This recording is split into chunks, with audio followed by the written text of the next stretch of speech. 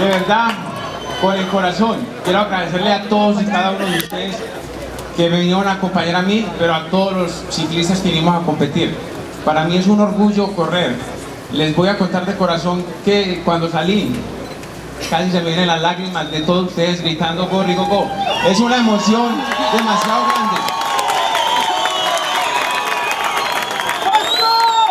De verdad, con el corazón, gracias por tanto cariño. Lo único que hago es entrenar y prepararme para darle lo mejor a cada uno de ustedes, que se sientan orgullosos de ser colombianos. Y acá estoy presente.